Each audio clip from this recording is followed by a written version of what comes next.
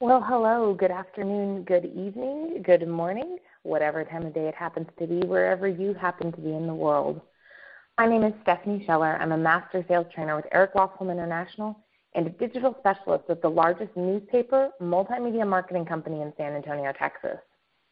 I've been working in sales and digital marketing since I graduated from college, and I tend to look at everything through the lens of sales, but I also recognize that to get the chance to have sales, you have to market. And so I started as a sales um, a sales rep and moved into the position of account manager where I was out helping manage and monitor and keep these marketing campaigns running. I'm in my 20s, so I am the generation that many publishers are trying to connect with. I am the digital uh, generation right now. I have very close friends and family members who are everywhere from you know 12 years old all the way up through their 50s and 60s and i get a lot of input and feedback and i'm always talking to these people about you know what works with them particularly because social me- or with social media because um, while i lean towards digital marketing in general over all other forms of marketing um, i believe that social media is one of the cheapest and most effective routes to market out there and when it's done right now or when it's done properly, it'll get you in front of the right audience quicker than any other platform out there. Um, before I get started, real quick, I do want to thank Shweiki Media for giving me the opportunity to talk to you guys. I'm really excited at what's going to come, not only out of this talk, but out of the series that I'm putting together for you guys. So, without further ado, I'm going to go ahead and get started here. Um, I really have two outcomes for this talk. The, the first outcome is that I want to provide you with the basic tools that you need to have sorted out, looked at, in order to drive a successful social media marketing program.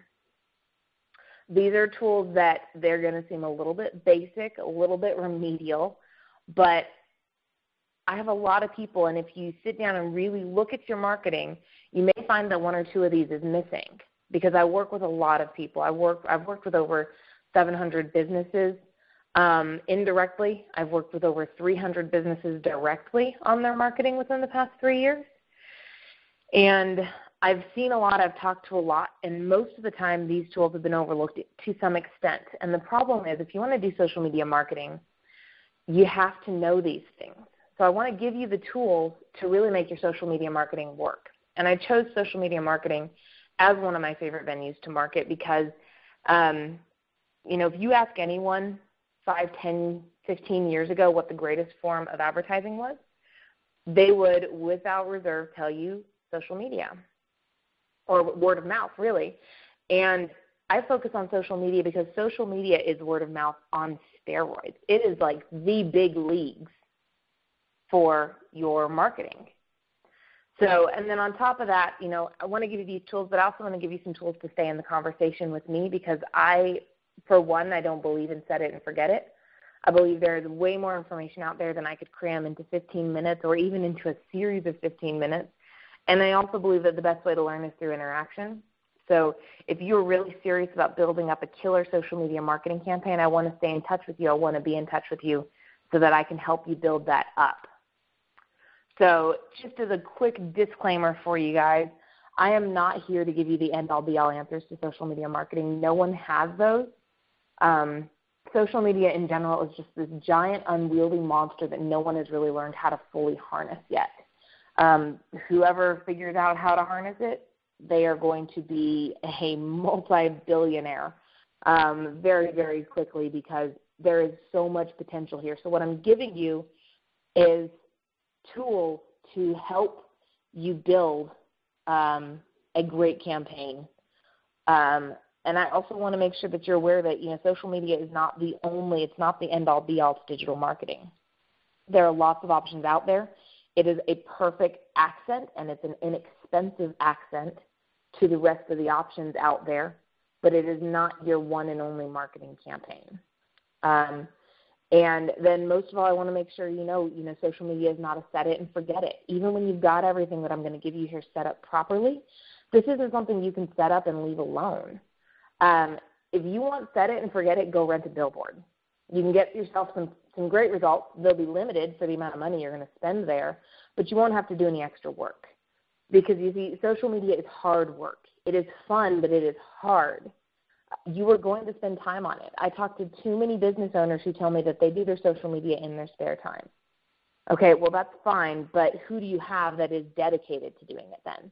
Because whether or not you're aware of this, social media marketer is a hireable position, and it is worth more than $90,000 a year.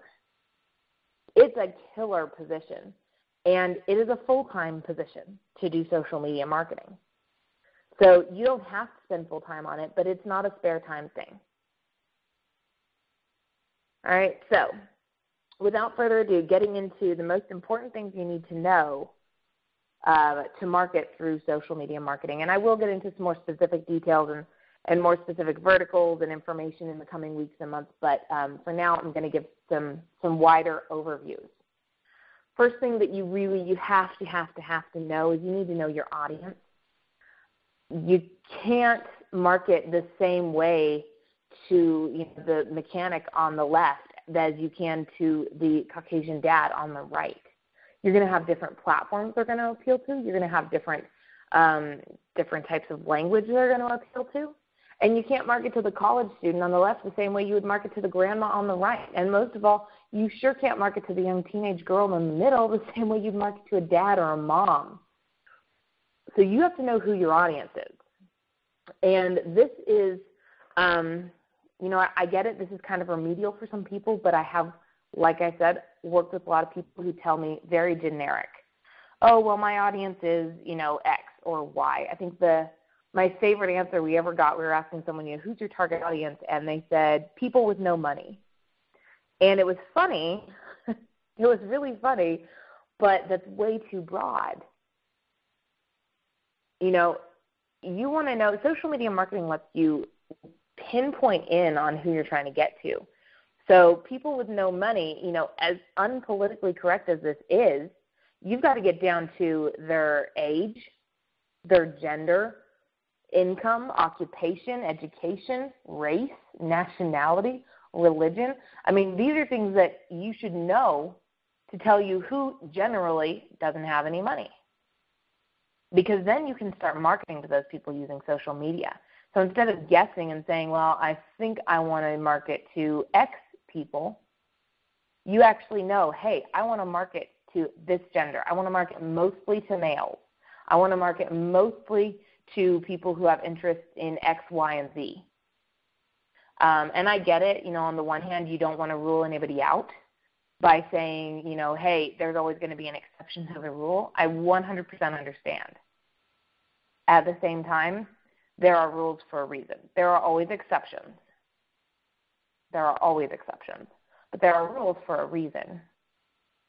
So while you don't want to, you know, miss out on those potential people, is it really worth throwing a hundred dollars or two hundred dollars or a thousand dollars or two thousand whatever your budget is, is it really worth throwing it out there in general, kind of throwing it up in the air and hoping the right people will catch it? Wouldn't you rather throw it towards a very concentrated area knowing that those people would catch it, and you have a high likelihood of them being uh, turning into target for you.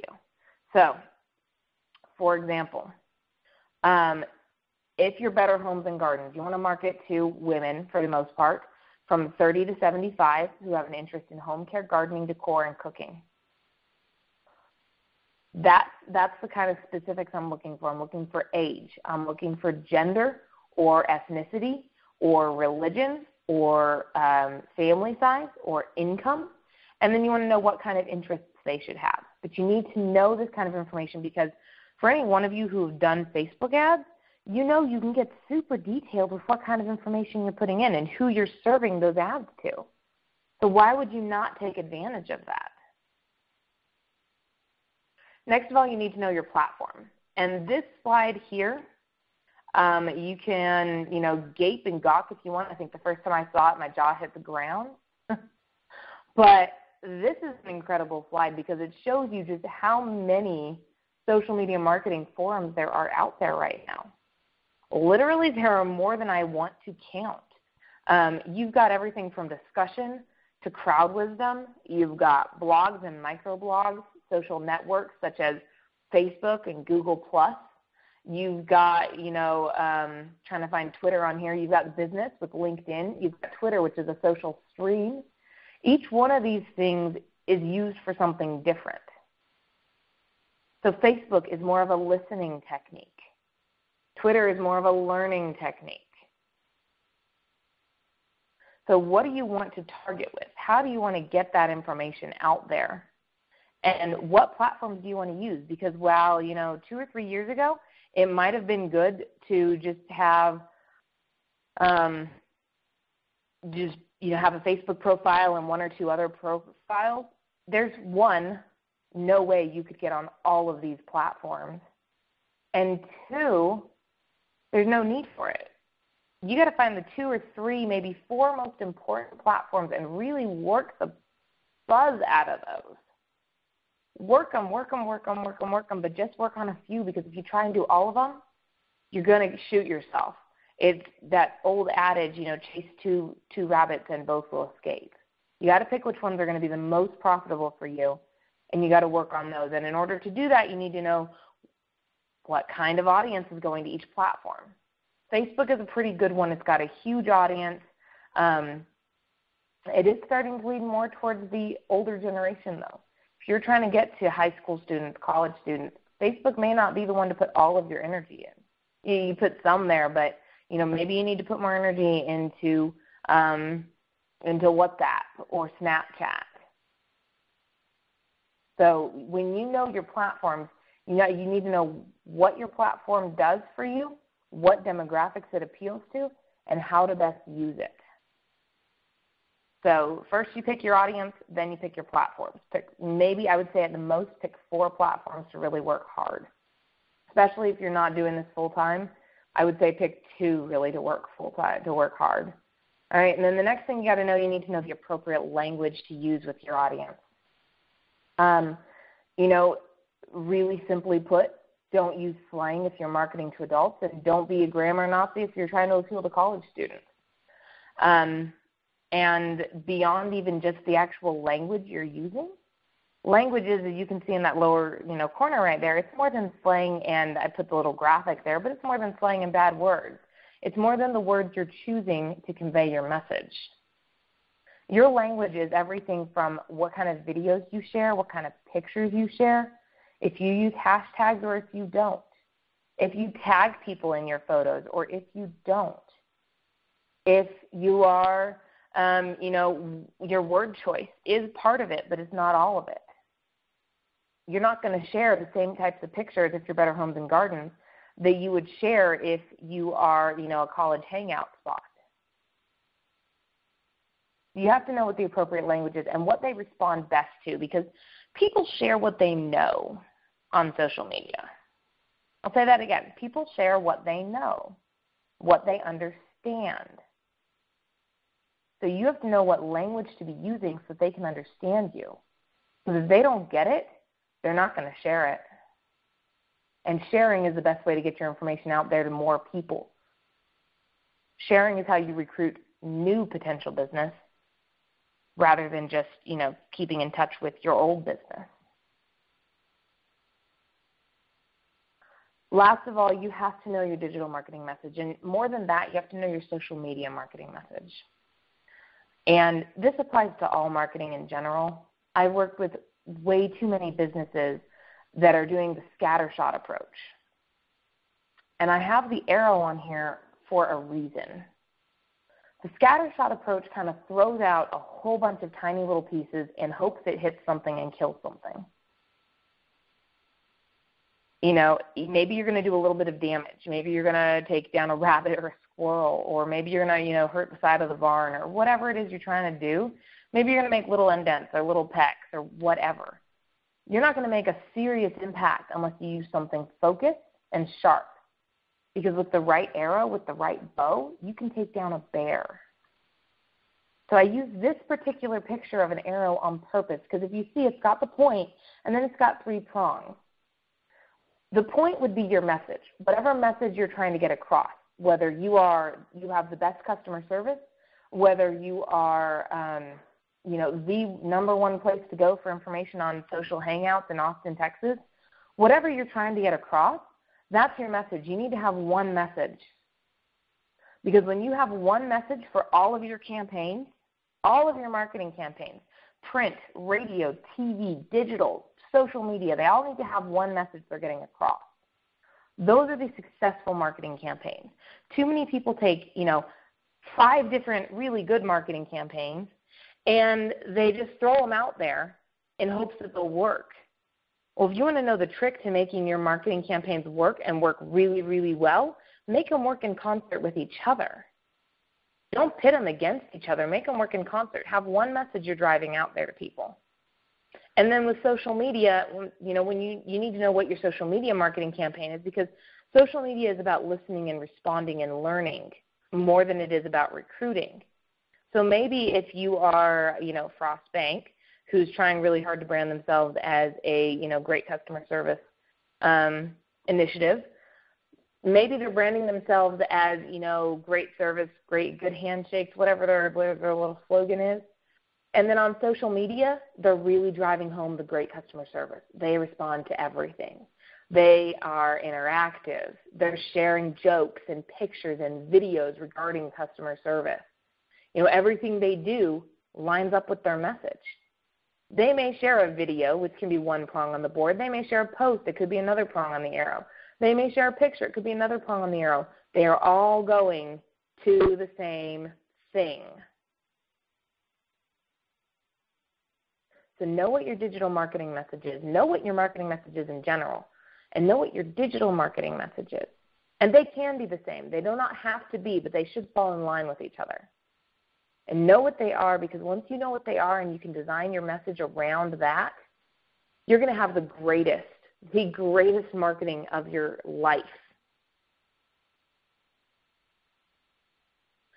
So I want to thank you guys for taking time to sit down with me. Um, I want to acknowledge everyone who's out there listening to the webinar live on the recording or reading the transcript because that tells me that you are a step above your competitors.